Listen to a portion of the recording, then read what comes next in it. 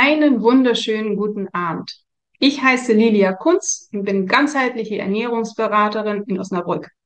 Ich habe vor zehn Jahren ungefähr habe ich angefangen, mich für die Ernährung beziehungsweise dafür zu interessieren, wie die Ernährung auf unseren Körper sich auswirkt. Und vor zwei Jahren habe ich meine Ausbildung zur ganzheitlichen Ernährungsberaterin abgeschlossen und unterstütze seitdem Menschen bei ihrer Ernährungsumstellung und helfe denen eben den Körper wieder fit zu bekommen durch die richtige Ernährungsweise.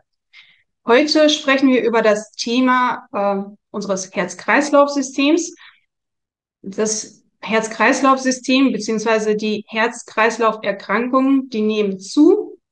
Und das ist auch eins der größten oder der, ja, eins der größten ähm, Ursachen für Todesfälle aktuell, ähm, die Herz-Kreislauf-Erkrankung. Und um da eben besser, ja, diese Erkrankung eben besser zu, zu nicht zu bekommen, sollten wir da schon präventiv etwas machen und äh, unser Herz-Kreislauf unter, äh, unser Herz-Kreislauf-System unterstützen.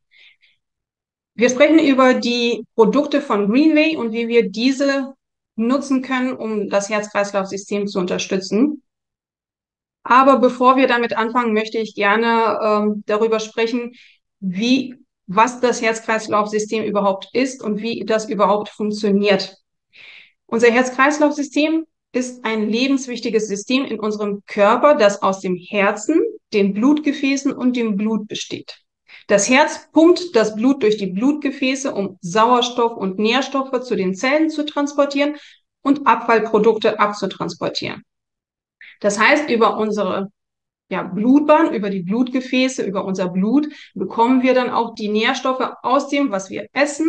Wir, wir kriegen den Sauerstoff aus unseren Lungen und ähm, die Abfallprodukte, die in unseren Zellen entstehen, die werden über diese ja, über die Blutgefäße auch wieder über unser Blut äh, wieder abgegeben. Es ist verantwortlich für die Versorgung des gesamten Körpers mit lebenswichtigen Substanzen und spielt eine zentrale Rolle für unsere Gesundheit. Das Gefäßsystem. Das Gefäßsystem des menschlichen Körpers besteht aus den Blutgefäßen und den Lymphgefäßen. Die Blutgefäße, welche mit dem Blut die nötigen Nährstoffe und den Sauerstoff zu den einzelnen Körperzellen transportieren. Und der anderen Seite können die Zellen ihre Abfallstoffe, die Stoffwechselschlacken, das Kohlendioxid zur Entsorgung wieder an das Blutgefäßsystem abgeben. Das Lymphgefäßsystem, welche eine Art Drainagefunktion hat, die Lymphgefäße nehmen die überschüssige Flüssigkeit aus unserem Zwischenzellraum der Gewebe, der Zellen auf und reinigen sie von Abfallstoffen und möglichen Krankheitserregern und geben diese gereinigte Lymphe dann wieder an den venösen Blutkreislauf ab. Das, das Gefäßsystem, wie gesagt, besteht aus den Blutgefäßen und den Lymphgefäßen. Das Blutgefäßsystem des Menschen besteht aus drei verschiedenen Arten. Das sind die Arterien, die Venen und die Kapillaren. Die Kapillaren, das sind so die ganz kleinsten, die feinsten, die eben zu jeder Zelle gelangen. Und die Lymphgefäße, die haben im Gegensatz zu den Blutgefäßen keine, keinen Kreislauf. Also unser Blutgefäßsystem, das hat ja einen Kreislauf, das bewegt sich immer im Kreis sozusagen. Und die Lymphgefäße, die haben keinen Kreislauf. Die bestehen aus Lymphknoten und den Lymphgefäßen und haben auch keine Pumpe wie das Herz bei den Blutgefäßen. Deswegen ist es sehr wichtig, die Lymphe in Bewegung zu bringen, weil das Einzige, was e-, eben unsere Lymphe bewegen kann oder den Lymphfluss anregen kann, das ist Bewegung. Das heißt, spazieren gehen, Fahrrad fahren. Ähm, wenn jemand äh, oder Sport machen, wenn jemand zum Beispiel die Möglichkeit hat und äh, auch die Gesundheit dazu hat, kann er sich ein Trampolin zu Hause an, äh, aneignen und äh, zehn Minuten Trampolin springen äh, bringt die Lymphgefäße richtig in Schwung. Also die Lymphe wird richtig bewegt. Bei Menschen, die jetzt zum Beispiel sich weniger bewegen können, würde ich empfehlen, eine äh, schöne Bürste zu kaufen, so eine ähm, ja eine Bürste, die eben nicht zu fest ist und dann jeden Morgen eine kleine Lymphmassage mit der Bürste zu machen. Da, da fängt man unten bei den Beinen, bei den Füßen an, auch bei den Händen und man bewegt sich immer weiter zum Herzen. Das äh, würde so auch die Lymphe eben anregen. Dabei bitte nicht zu kräftig drücken, das mag die Lymphe nicht so. Das Herz, das Herz ist ein Hohlmuskel, der das Blut durch die Blutgefäße zu allen Organen und Geweben pumpt. Auf diese Weise werden alle Organe und Gewebe mit Sauerstoff und Nährstoffen versorgt. Die Pumpkraft des Herzens führt außerdem dazu, dass das verbrauchte, also nährstoff- und sauerstoffarme Blut von den Organen und Geweben auch wieder zurück zum Herzen fließen kann. Wie gesagt, das Herz ist auch ein Muskel. Und genauso wie unsere Muskeln auch äh, in den Beinen, in den Rücken und so weiter und so fort, muss auch das Herz trainiert werden. Und wie trainiert man das Herz? Es ist auch wiederum das Beste fürs Herz, wenn man sich bewegt. Man sollte sich ähm, eine Sport aneignen, wo man das Herz etwas mehr in Schwung bringt, auch ein bisschen äh, höher schlagen lässt. Vielleicht ein flotter Spaziergang oder auch Fahrradfahren. Das ist sehr gut für unseren, für unser Herz, für unsere Herzmuskeln. Das Blut ist nicht nur eine Flüssigkeit, es ist vielmehr ein eine Art Organ. Die Hauptaufgabe des Blutes ist der Transport vieler unterschiedlicher Stoffe durch den Körper. Deshalb wird das Blut mit Hilfe des Herzens ständig in Bewegung gehalten und durch das Blutgefäßsystem des Körpers gepumpt. Das Blut besteht zu circa 55 Prozent aus Plasma und 45 Prozent aus den Blutzellen. Und die Haupt Hauptaufgaben des Blutes sind der Sauerstofftransport, der Transport von den Nährstoffen, der Abtransport von Stoffwechselabbauprodukten und natürlich die Immunabwehr. Der Blutdruck. Das Herz pumpt täglich circa 9000 Liter Blut durch unsere Arterien und Venen. 9000 Liter Blut, das ist schon echt viel. Also deswegen muss das Herz schon ordentlich arbeiten. Dabei drückt das Blut mit ungeheurer Kraft auf die Gefäße. Diese Kraft nennt man Blutdruck. Und wenn man sich das bedenkt, also wie stark dann eben dieser Blutdruck ist und wenn die Gefäße dann ähm, ja nicht mehr elastisch sind oder auch äh, verkalkt sind, dann haben wir ein Problem. Dann ähm, ja, dann entsteht eben dieser Bluthochdruck, wir kriegen Herzrhythmusstörungen und so weiter und so fort. Um dem permanenten Druck, der auf die Arterien und Venen lastet, standhalten zu können, bedarf es einer entsprechenden Elastizität der Arterien und Venenwände. Diese Elastizität ist allerdings nur in einem wenig belasteten Organismus gegeben. Das heißt, je belasteter der Körper mit Säuren, Schlacken und Giften ist, umso unflexibler wird die gesamte Gefäßsituation. Das Ergebnis ist, wie gesagt, der Blutdruck steigt, der Herzrhythmus verändert sich und die Arterien verkalken sich. Häufige Herz-Kreislauf-Erkrankungen sind die Arteriosklerose oder Atherosklerose, der Schlaganfall, Herzinfarkt, Bluthochdruck, Angina pectoris, Herzinsuffizienz und Herzrhythmusstörungen. Wir haben ganzheitliche Maßnahmen, die wir unternehmen können, um unsere Herz-Kreislauf-Gesundheit zu, unter zu unterstützen. Da sind natürlich eben auch kein Alkohol trinken oder möglichst wenig Alkohol zu trinken, keine isolierten Kohlenhydrate in Form von Haushaltszucker oder Weißmehl oder weißen Reis, nicht rauchen, also Rauchen gefährdet ja unser Herz-Kreislauf-System enorm. Da sollte, wenn man raucht, dann sollte man möglichst sehr stark reduzieren oder auch äh, komplett aufhören, wenn die Möglichkeit besteht und wenn die Kraft dafür da ist keine Fertiglebensmittel äh, essen, da diese Transfettsäuren enthalten, die für unsere Blutgefäße auch unglaublich schlecht sind. Gesunde, basenüberschüssige Ernährungsweise mit viel Gemüse, äh, viel Obst, reines, sauberes Wasser, dann äh, gesunde Fette und auch ähm, ja, Eiweiße, die eben gesund und gut sind.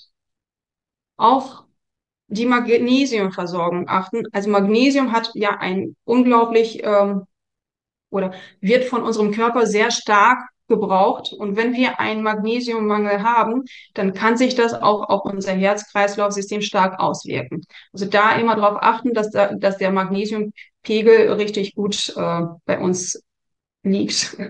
Nur noch hochwertige Fette, ein Übermaß an Omega-6-Fettsäuren vermeiden, also möglichst äh, das Omega-6 zu Omega-3-Verhältnis so haben, dass es so ja bei drei zu eins liegt. Und das wird schwierig, weil das in Deutschland beziehungsweise überhaupt in Europa äh, schwer zu erreichen sind. Wir essen sehr stark Omega-6-lastig. Äh, Deswegen äh, immer gucken und möglichst eventuell mit Omega-3 ähm, Präparaten dann da noch äh, zusätzlich unterstützen.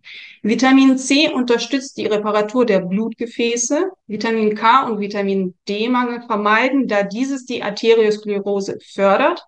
Da immer drauf gucken und möglichst Vitamin D und Vitamin K zusammen einnehmen und auf ausreichende Bewegung achten. Wie kann ich mein Herz-Kreislauf-System mit Hilfe von Greenway-Produkten unterstützen? Das erste Produkt, das ist das Velab Cardio Komplex. Dieser besondere Komplex enthält Vitamine und Aminosäuren, die für die Ernährung des Herzmuskels wichtig sind, sowie den Weißdorn, der traditionell zur Entspannung und Normalisierung der Funktion des Herz-Kreislauf-Systems verwendet wird.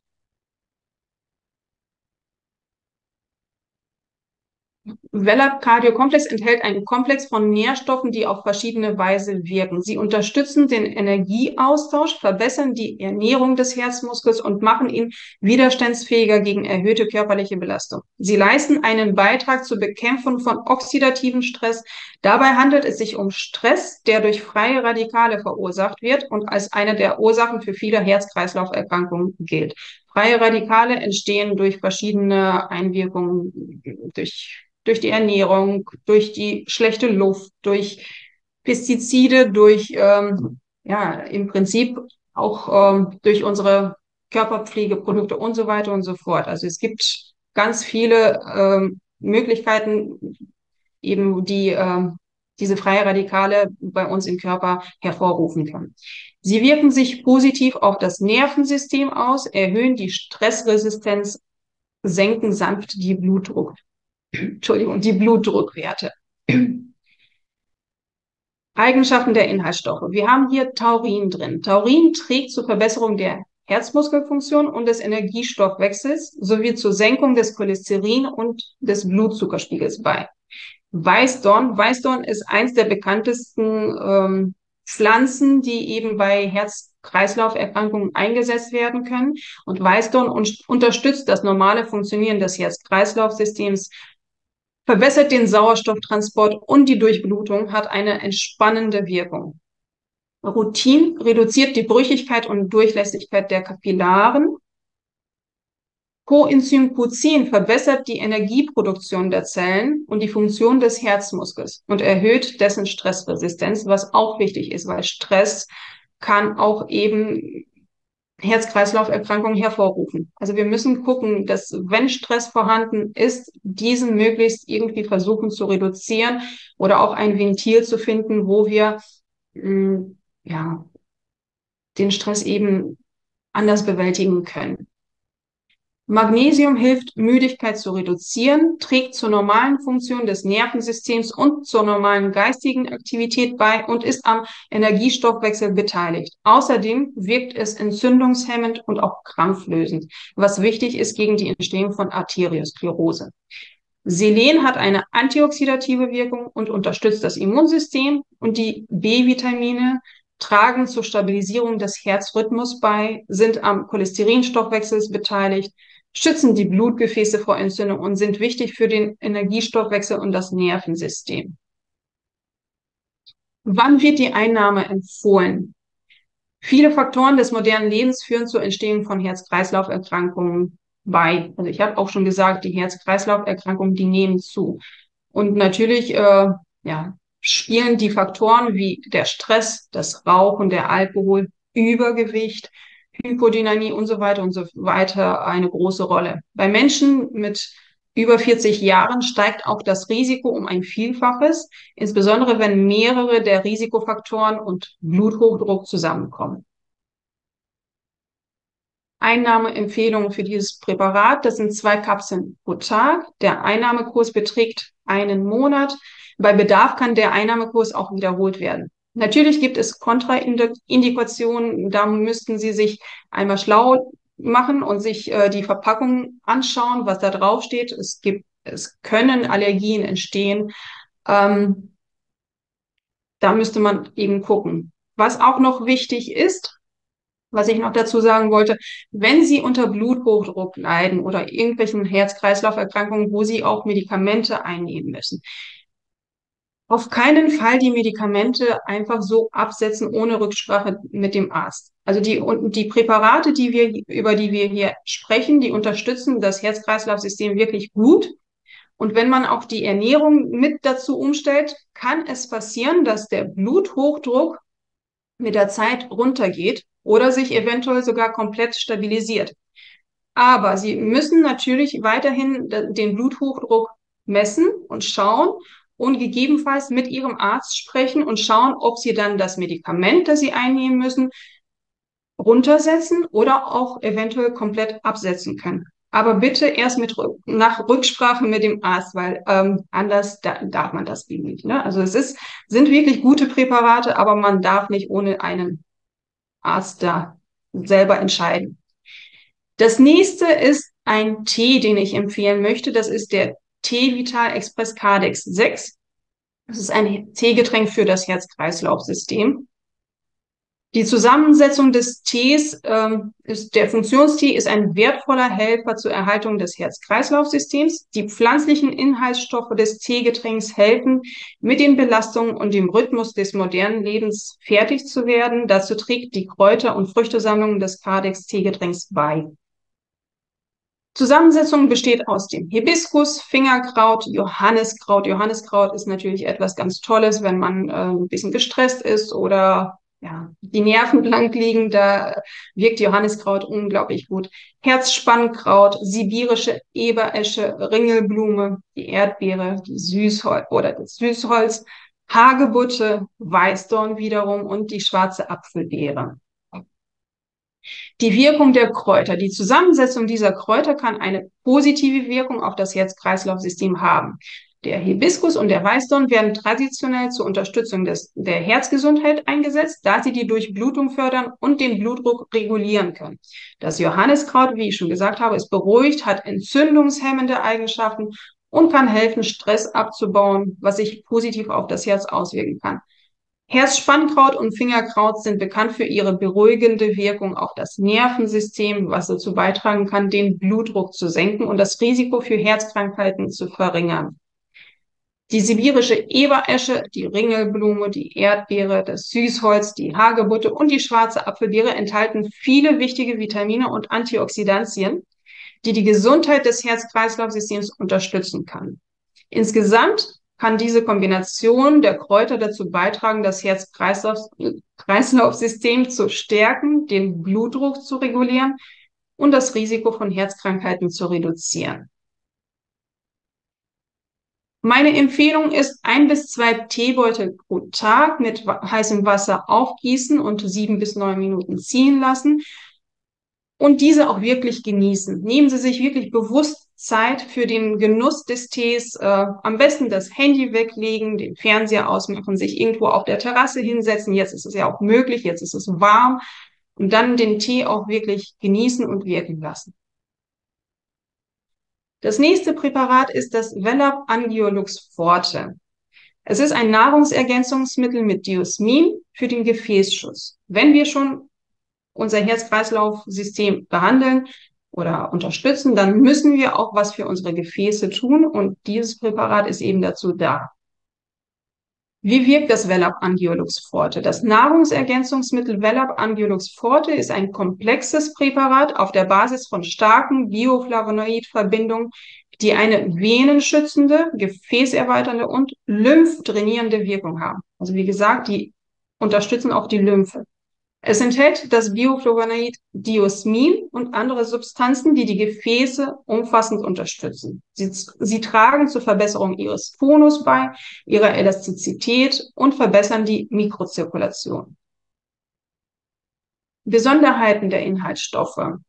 Envelop Angiolux Forte enthält Diosmin und Hesperidin aus dem Bitterorangenextrakt, Extrakte aus der Goto-Cola, Ginkgo-Biloba und dem Baikal-Helmkraut sowie Rutin und die Vitamine C und E. Dank der enthaltenen Bestandteile trägt es zur Ernährungsunterstützung der Venen und Blutgefäße bei. Warum ist das so wichtig? In erster Linie ist das Nahrungsergänzungsmittel für Menschen geeignet, die an Krampfadern leiden. Dabei handelt es sich um eine chronische Krankheit der oberflächlichen Venen, die durch ein Versagen des Klappenapparats entstehen und sich durch eine Erweiterung der Venen und einen gestörten Blutabfluss äußert. Die Varikose ist immer anfälliger für ein Fortschreiten, die Entwicklung einer trophischen Geschwüre und die Bildung von Blutgerinnseln. Also das heißt, wenn, wenn wir ähm, ja, eben Krampfadern haben, dann neigen wir auch zu Blutgerinnseln und äh, Thrombosen. Statistiken zufolge liegt die Inzidenz dieser Krankheit in den Industrieländern bei 25 Prozent.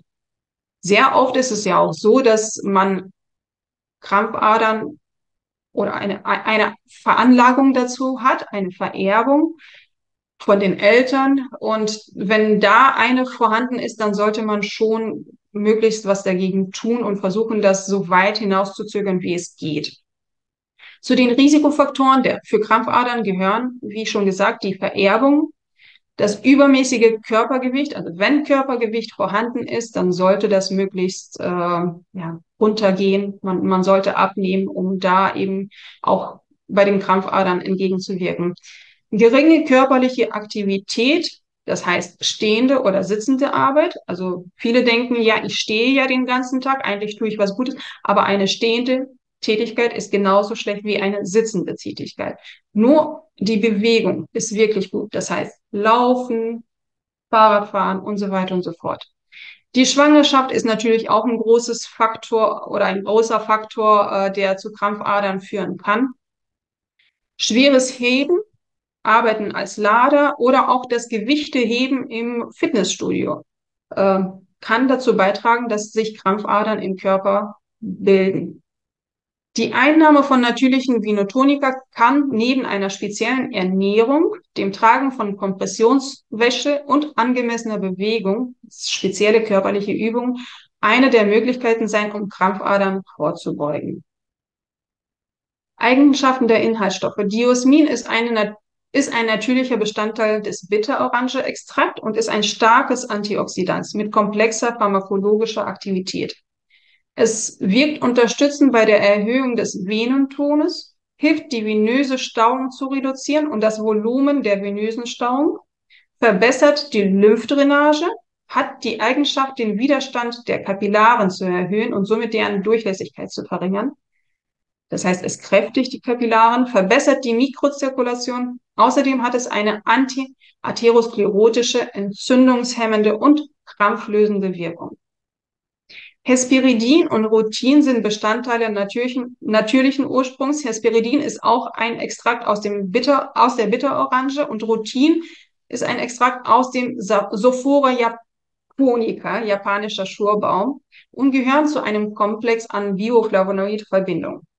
Sie verringern die Durchlässigkeit und die Brüchigkeit der Kapillare. Sie haben entzündungshemmende Eigenschaften, reduzieren Schmerzen, Schwellungen, Erscheinungen von allergischen Reaktionen, verbessern die Bluteigenschaften, normalisieren und senken den Cholesterinspiegel und den Triglyceridspiegel, schützen das Vitamin C vor Oxidation und verstärken seine Wirkung. Die weiteren Eigen Inhaltsstoffe ist Gotu-Pfahl. Das wird traditionell in der chinesischen und indischen Medizin verwendet und enthält Stoffe, die sich positiv auf das Herz-Kreislauf-System auswirken. Ginkgo biloba unterstützt die normale periphere Blutmikrozirkulation und unterstützt auch das Gedächtnis, die Konzentration und das geistige Wohlbefinden. Baikal-Helmkraut hat eine antioxidative Wirkung und hilft, den Blutdruck zu senken. Außerdem verbessert es den Zustand der Kapillaren und hat eine kardiotonische Wirkung. Vitamine C und E haben eine antioxidative Wirkung. Sie schützen die Blutgefäße vor Schäden durch freie Radikale und verbessern den Regenerationsprozess. Das heißt, wenn Schäden an den Blutgefäßen entstanden sind, dann unterstützen die Vitamine C und E eben diese Reparaturmaßnahmen, die ergriffen werden, von unserem Körper ergriffen werden, um äh, die Blutgefäße wieder zu reparieren. Für wen wird die Einnahme empfohlen? In der Komplextherapie von Krampfadern, Hämorrhoiden, Diabetes mellitus. Bei erblicher Veranlagung zu Krampfadern würde ich das auf jeden Fall empfehlen. Bei schwere Gefühl und Unbehagen in den Beinen, Krämpfen, Schwellungen. Sehr oft ist es ja, wenn man den ganzen Tag gearbeitet hat, dass man so schwere Beine hat. Da ist es äh, wirklich auch zu empfehlen, bei der komplexen Therapie von Funktionsstörung der Herztätigkeit. Das heißt, wenn, wenn Herzkreislauf Erkrankungen vorhanden sind, dann ist das auch ein Mittel, was sehr gut oder was ich empfehlen würde. Einnahmeempfehlung, zwei Kapseln pro Tag. Auch dieses Nahrungsergänzungsmittel kann natürlich Kontraindikationen haben. Da sollte man möglichst gucken, ob eventuell irgendwelche Allergien vorhanden sind auf die Bestandteile. Auch in der Schwangerschaft sollte man gucken, wobei ich da tatsächlich, weil das eben ein Präparat ist, was die Venen schützt äh, und auch die Krampf oder vor Krampfadern äh, unterstützend wirkt, da würde ich das tatsächlich mit dem Frauenarzt einmal besprechen und ihm vielleicht auch zeigen, was da drin ist und was der Arzt ja da empfehlen will, ob man das einnehmen. Also ich glaube tatsächlich nicht, dass da irgendwas gegensprechen würde. Aber natürlich erst mit Rücksprache mit dem Arzt und Personen unter 18 Jahren. Das nächste Präparat ist das Velab Antisor Aktiv. Das ist ein Breitband-Antioxidanzkomplex, welches unterstützen wirkt bei der zellularen Abwehr, Anti-Age, Stärkung des Immunsystems. Also, und äh, natürlich ist es auch, sind Antioxidantien sehr gut für unser Herz-Kreislauf-System. Was sind Antioxidantien? Antioxidantien sind Stoffe, die Zellen vor Schäden durch freie Radikale schützen und so die Zeichen der Hautalterung und der Entstehen von Krankheiten verlangsamen. Besonderheiten der Inhaltsstoffe, da ist L-Glutamin drin. Dieses schützt die Zellen vor oxidativen Schäden, erhöht die Aktivität des Immunsystems, verbessert die Regenerationsprozesse. Das heißt, es unterstützt bei den ähm, Aufbauprozessen, bei den Reparaturprozessen, die in unserem Körper entstehen. Hagebutten unterstützen die Funktion des Immunsystems und stärken die Blutgefäße. Hagebutte enthält ja auch von sich aus unglaublich viel Vitamin C. Traubenkerne wirken sich positiv auf den Hautzustand aus und unterstützen das Herzkreislaufsystem. Das Zink wirkt sich positiv auf das Immunsystem aus, fördert die normale geistige Aktivität und reduziert Müdigkeit und Ermüdung. Das Kupfer schützt die Zellen vor oxidativen Stress, ist für den normalen Eisentransport im Körper unerlässlich und trägt zur Aufrechterhaltung eines normalen Energiestoffwechsels und der Funktion des Immunsystems bei. Das Beta-Carotin ist ein starkes Antioxidant, welches für die Aufrechterhaltung des normalen Zustands der Haut, der Schleimhäute und des Sehvermögens beiträgt und zur normalen Funktion des Immunsystems wichtig ist. Die Vitamine A unterstützen die Gesundheit und Schönheit der Haut, tragen zur Aufrechterhaltung einer gesunden Sehkraft und der Funktion des Immunsystems bei. Und das Vitamin A wirkt antioxidativ, wirkt sich positiv auf den Zustand der Blutgefäße aus und unterstützt die, wiederum die Regenerationsprozesse. Also die Antioxidantien sind wirklich unglaublich toll für unseren Körper, auch für unsere Haut, auch für unsere Schönheit, beziehungsweise ähm, dafür, dass wir möglichst länger jung und gesund bleiben. da sind die Antioxidantien wirklich ein ja, super Mittel. Die Einnahme, Erwachsene nehmen eine Kapsel zweimal täglich zu den Mahlzeiten. Die Behandlungsdauer dauert einen Monat und sollte aber nicht mehr als zwei bis dreimal äh, pro Jahr wiederholt werden, der Kurs. Warum das so ist, das ist einfach so, die Antioxidantien sind schon wirklich ein starkes, äh, ja, sind sehr stark und wirken auch stark. Und da sollte man möglichst auch nicht übertreiben. Ne? Also die äh, Menge macht das Gift, sagt man auch. Also äh, immer gucken, dass man nicht zu viel davon einnimmt, aber dann eben, äh, beziehungsweise man, ja, wie soll ich das richtig? Also einnehmen schon, aber eben nicht übertreiben damit. So.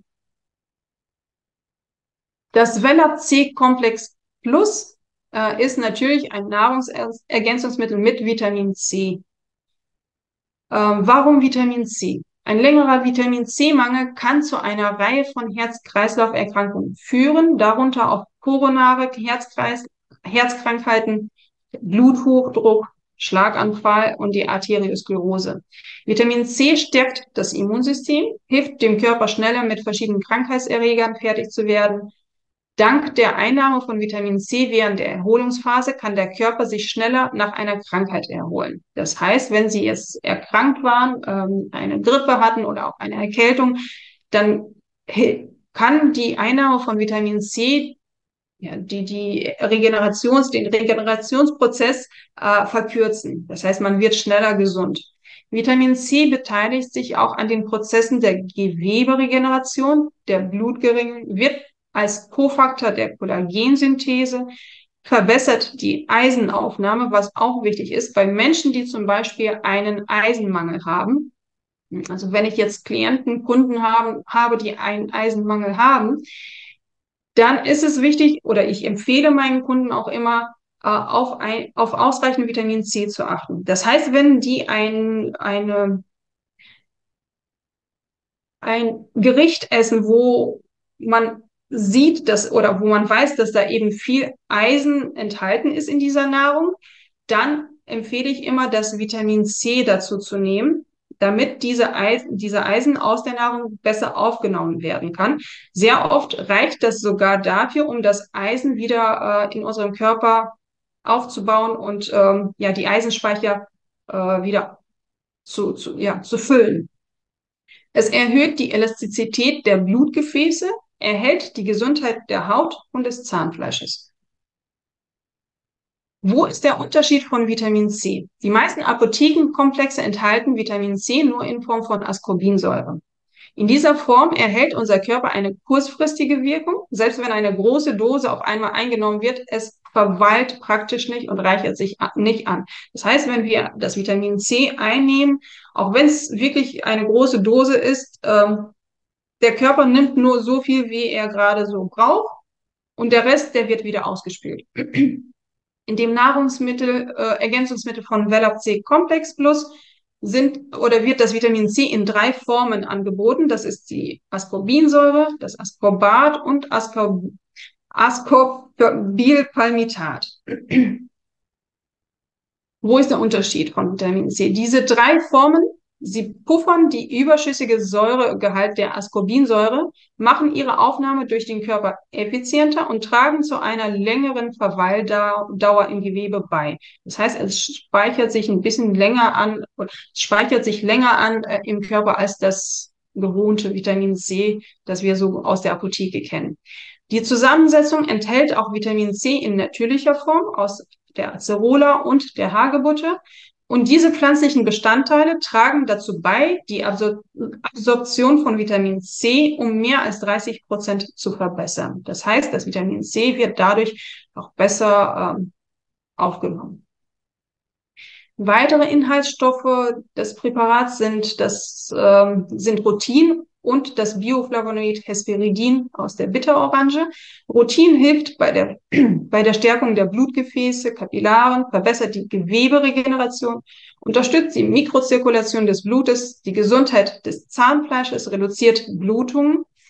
Die Bitterorange ist eine natürliche Quelle von Hesperidin, welches hilft, die Blutgefäße zu stärken, Schwellungen und allergische Reaktionen zu reduzieren